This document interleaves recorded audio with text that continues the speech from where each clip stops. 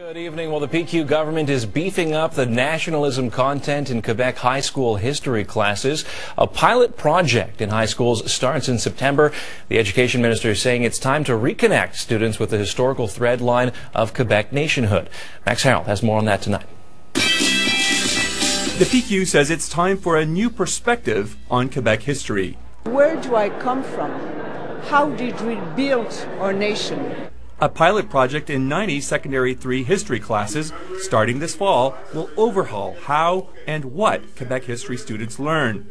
The PQ says it will be an inclusive approach. In our nation, we have the First Nations, we have the Francophones, we have the Anglophones, uh, all the allophones too. High school history teacher Sergio Greco says the current curriculum is already well stocked with Quebec nationalism. There's, there's always that recurring theme where it's, you know, the French were dominated, it's a constant struggle uh, for them to protect their language, their rights. He's asked his students to sum up Quebec history, and the answers are bleak. Quebec history, when one province is too small for two languages.